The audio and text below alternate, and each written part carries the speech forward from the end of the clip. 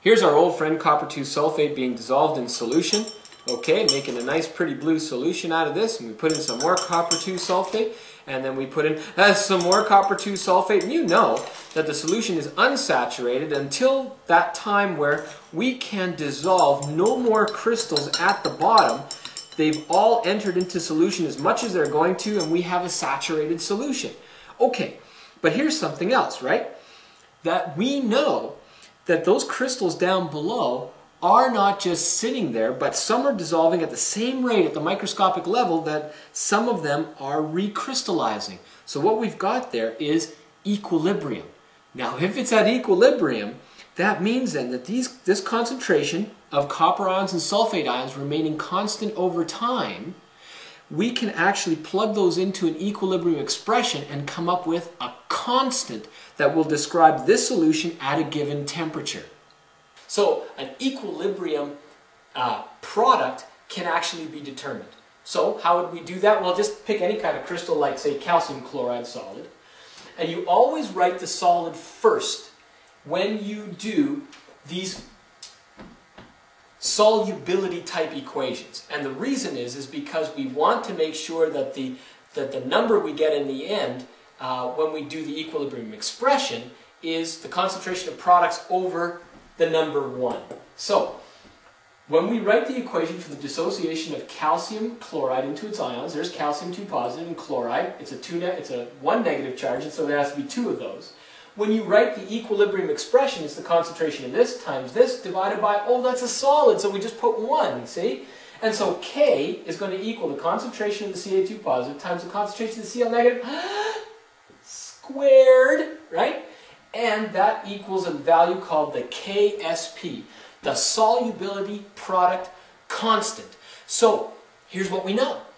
We know then the KSP, or when these concentrations in solution reach a certain value here, that then that is the point of saturation. So that's also the point where it just starts to form a precipitate. So if we alter certain concentrations, we can still determine, if we know the KSP value, when they're going to precipitate.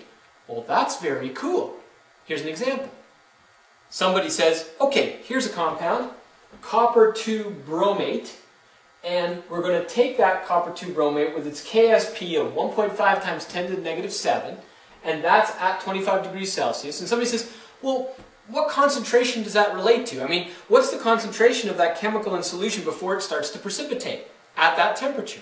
Well, okay, so what you do is you just take that equation there, always putting the solid first, break it down to its ions, and remember, this doesn't have a concentration, it's a solid.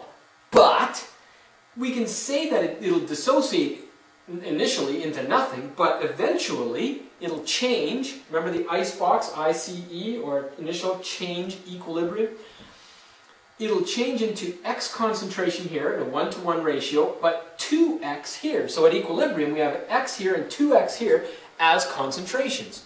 Okay, so we know then that if we take those and put them into the expression, and here's the expression, remember, it's the concentration of this times this squared, put those numbers in, we will be able to do the math knowing the KSP goes in for here, and we'll get X at 0.0033 moles per liter. What is that? Okay, it's this concentration here, but it's also, we kind of fudge it, and we say, that's actually the concentration of this chemical, X, and X would be here, the concentration, uh, or here, X would be the concentration of this chemical at the point of saturation. So, this is the concentration that you can have before precipitation occurs of this chemical.